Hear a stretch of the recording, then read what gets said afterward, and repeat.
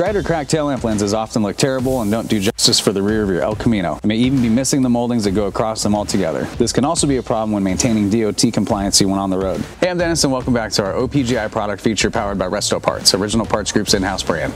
Today we're going to be looking at our 1967 El Camino taillight lenses. You can purchase these with or without the molding strip running across the lens. These brilliant red plastic lenses have been reproduced exclusively by OPGI since 1995, which were the very first and still the best on the market. Moldings are stamped from metal and finished with a bright polish. Lenses are made from an injection molded plastic design just like the originals. We use case hardened steel tooling to ensure the authenticity of the fitment and distinguishable from the original. These are easy to install and feature the correct guide markings for authenticity. You'll be happy you chose OPG for your lenses. Thanks for watching and don't forget to subscribe for more product features and updates. For more information on these and other great products, please visit us at opgi.com.